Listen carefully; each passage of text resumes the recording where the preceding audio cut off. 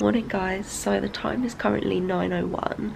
I've literally just woken up, which is why my voice sounds like so croaky and I just sound like, well, a man. I have got a meeting with my counsellor at quarter past nine. I don't actually need to be anywhere, she's just ringing me, so I need to be ready to speak to her by quarter past nine. So I'm going to be taking you guys around with me today and showing you guys what it's like as a day in the life of being allergic to water.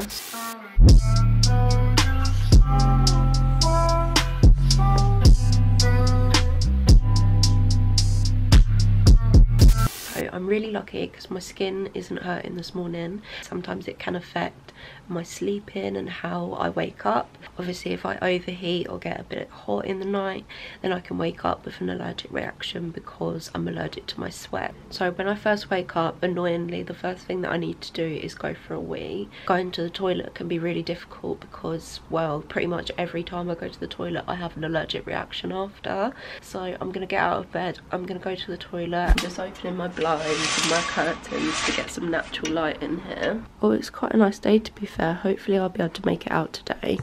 So when it comes to going to the toilet, I find it really difficult because there's no way that you can do a wee without having any water splash back at you. So I've literally tried everything. For example, I always put tissue down first just to kind of like minimise the splash. I've also had toilet seat covers before as well. So, so far I'm not feeling any pain yet but it usually takes about 5 or 10 minutes to kick in but it does always happen after I do a wee that I have an allergic reaction. I don't know why, it just always gets me. So I'm just getting back into bed. By the way guys, if you've noticed, my room is like completely different. I've changed my room around literally just because I needed it to be easier for me to film because at the moment I have to like change everything in my room to get the space to film. But I have just kind of like freed up that white wall over there just so that I've got a clear wall that I can sit in front of film videos and it's just easy and I don't have to move my whole life around to film a video. So I can feel the back of my leg starting to itch on the back of my thighs, which will then usually spread like down my legs and sometimes it can spread up my back as well. And from going to the toilet, an allergic reaction usually lasts about half an hour to 40 minutes. So it's starting to get uncomfortable right now, but it's not like pain just yet. I'm hoping that it can stay calm enough that I can get through my phone call. By the way guys, before you start suggesting, I've literally tried everything to stop myself from having allergic reactions from going to the toilet. Um, the allergic reactions to wee is like the main reason why I stopped working because it just got so bad that every time I went to the toilet I was left in pain so it just made it kind of like impossible for me to stay at work all day. I know this is a bit personal but I just like to be honest with you. So my therapist is now calling so I'm going to take this call so I'm going to set you up over here so that you can see me. Hello?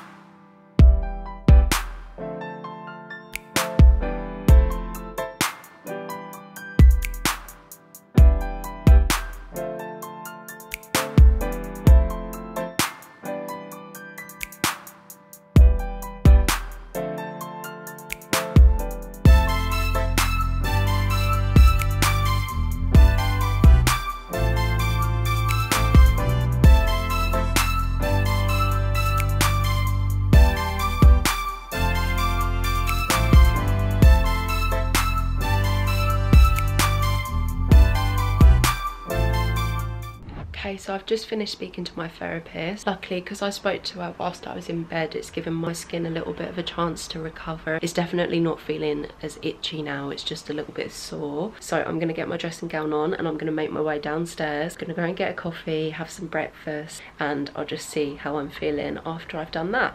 So I'm in my kitchen now and I'm about to have breakfast. So I'm just having some cereal. They're literally just some honey nut cornflakes, which are mine and my mum's favourite.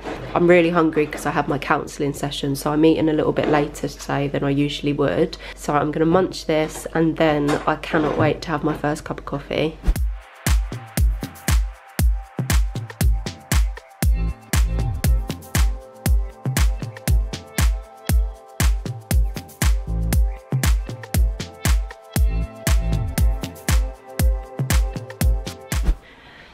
Yeah, now I'm gonna get ready. I'm not gonna have a bath today because I only had a bath a few days ago and I aim to have a bath about twice a week just because of how painful it is. It's literally not bearable for me to bath any more frequently than that so on the days when i'm not having a bath i usually just have a strip wash but that is also really painful anyway so it's not that much better than a bath so i'm not going to take you with me i'm going to go and have a wash and i'll see you guys afterwards so guys, I'm back in my bedroom now. I've had a wash and I've cleaned myself up. I've done my hair and I've done my eyebrows. I've got a little bit of concealer under my eyes as well, just to make me look a little bit less dead. I don't feel great after having a wash, like I am a little bit sore now, definitely. But that's normal for me. So what I'm gonna do is I'm gonna lay down, chill out for a bit, just because if I try and move too quickly now, then my skin will be a lot worse in the long run. So if I try and rush getting dressed, start rushing around and start trying to do errands and stuff like that, it could actually just leave me in pain for the rest of the day. So I'm going to take it slow. I'm still in my dressing gown at the moment, so I need to get dressed into something comfortable and loose fitting, at least until my skin feels a little bit less sensitive. So then I can maybe put like a tracksuit on or some daytime clothes like leggings or something like that.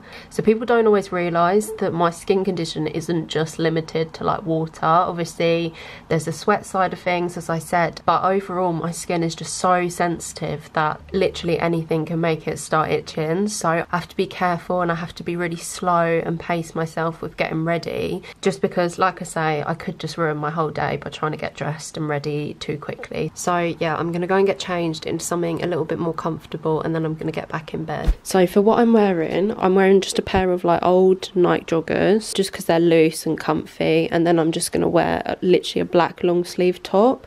So I have to be careful with the clothes that I wear. I always have to go for long sleeved clothes or you know full length joggers or leggings or something like that with a soft material so that it doesn't irritate my skin and I need it to cover like the majority of my skin. Otherwise I will just have like random allergic reactions. So by being exposed and not being covered by clothing it just makes my skin more sensitive. I'm not sure why and my doctor doesn't really know why but that is a major part of my condition that people don't realise I'm just going to get changed into these comfy clothes and then I'm going to get right back in bed. Only thing is, it's already from getting dressed, I can feel my legs starting to itch. So right here on my leg, it's starting to like prickle, almost sharp pains. And it starts off like that and then it either gets a lot worse and goes to like a full-on reaction. Or sometimes if I take it slow and try to rest, then sometimes it can just calm down. I'm gonna put that down to obviously the fact that I've just had a wash. So I've just made my skin sensitive anyway.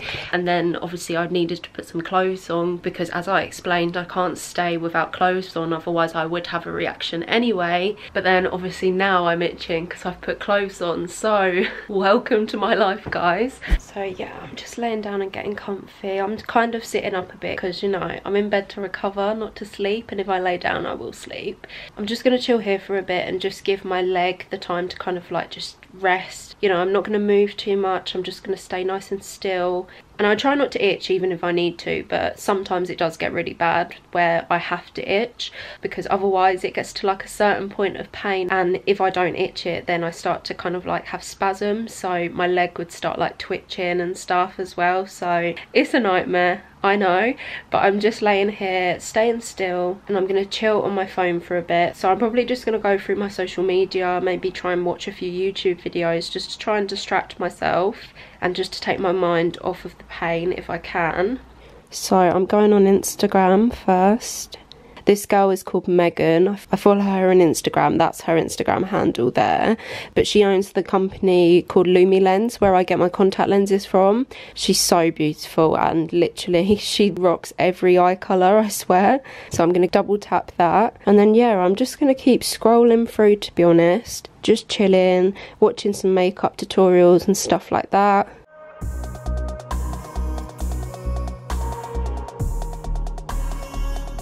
My leg is starting to get a lot more painful now so I've come off my phone for a bit um, because social media can only distract me to a certain extent. Sometimes the pain does get really bad and sometimes I do just literally need to lie down and rest and chill out and I have to do that just to give myself the best chance of like enjoying the rest of my day.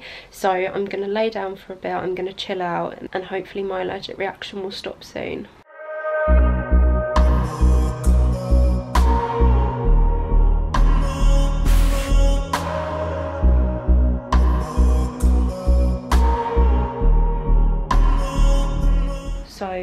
allergic reactions move from like my shin. It's spread up my leg past my knee now. So, so it's just about reaching my thigh.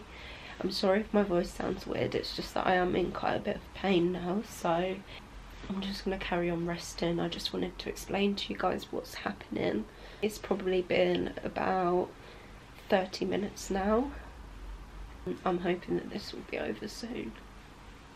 So it's now been about 50 minutes since I last spoke to you guys.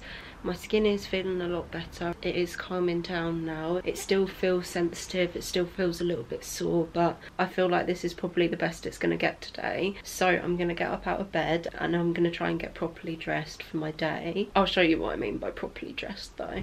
So the best thing for me to wear when my skin's feeling like this is something like this tracksuit. So ideally I wouldn't wear tracksuits all the time, but they are literally the only thing that I can wear without feeling really uncomfortable. Like if I tried to to put on jeans, fucking hell would I know it. I literally never wear jeans anymore because they're so like rough and abrasive. They just hurt my skin. So today I'm going to go with this tracksuit. So I'm going to get changed into this tracksuit and then I'm going to see how my skin feels. And we'll see if I feel well enough to try and carry on with my day joggers and leggings are just honestly the most comfortable thing for me to wear on my skin.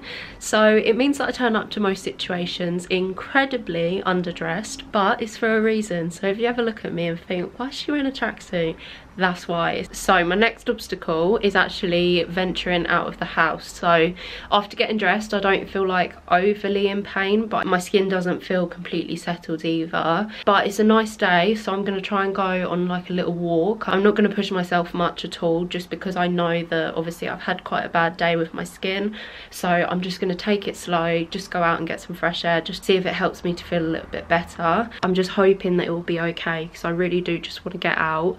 Um my skin has been really bad this past like week or so so I haven't got out of my house much at all. I spend so much time in the house because of my skin. It makes it so difficult for me to get outside on a daily basis for so many reasons. Like quite a few days this week it's been raining outside and literally there may as well be acid falling from the sky. That's what it feels like to me. Like it really is just hell on earth when it's raining. So I literally rarely even attempt to leave the house on a rainy day unless I absolutely have to. And if I have to leave the house when it's raining you can guarantee that I feel sick. So I'm just getting some stuff together. Just gonna grab my car keys and a coat as well just in case the weather changes while I'm out. Also got my phone with me and I'm gonna take some headphones as well so that I can listen to some music as I walk.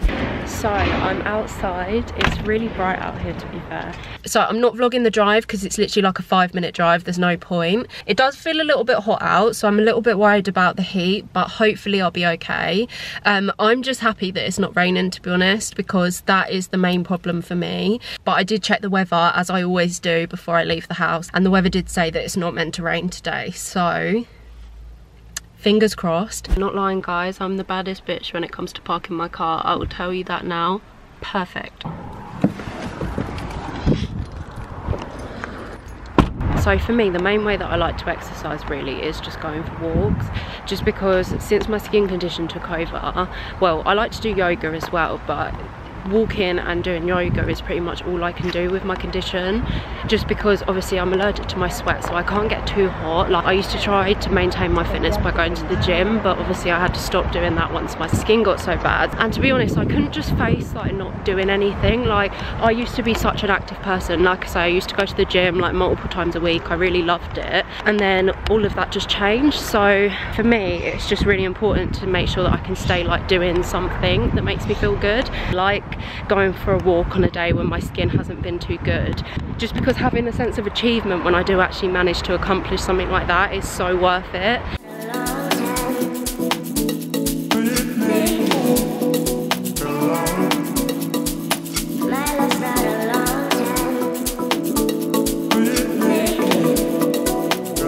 I'm starting to get a little bit sweaty well not sweaty but hot so I'm gonna sit down on this bench for a sec just to give myself a little bit of a breather that is the main thing that I'm trying to practice at the moment is like being kinder to myself my therapist has picked up that like I'm very like I don't know, I'm really harsh on myself. Like when I can't do something or when I do can't do something without having an allergic reaction or, you know, my allergic reaction holds me back from something. Like I'm so quick to be like, oh my God, you useless bitch and I need to be kinder to myself like I need to learn to be like well you know your allergic reaction did happen today. It did definitely cause some pain but you still got out still went for a walk you know you still got this done you still got dressed you still didn't stay in bed all day crying like it's all progress. So just try to be kind to yourself because that is something that I'm really trying to practice and work on at the moment to be honest. So yeah I would love for you guys to do that too. And I'm literally just gonna sit here and enjoy the view. It's so pretty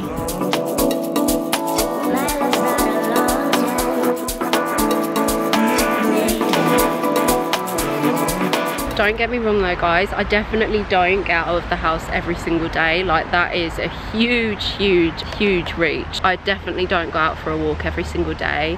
Why do people think i'm a weirdo for having a camera? Like do you is it really that like far-fetched in 2018 that like youtubers exist? Why are you looking at me like i'm shitting in the middle of the park like a dog? Like i've got a camera that's it. I think it's because people assume that you're being vain. Like people do know vlogging is a thing right? Like people do know that cameras aren't just to take selfies like and even if i was taking a selfie in the park like what?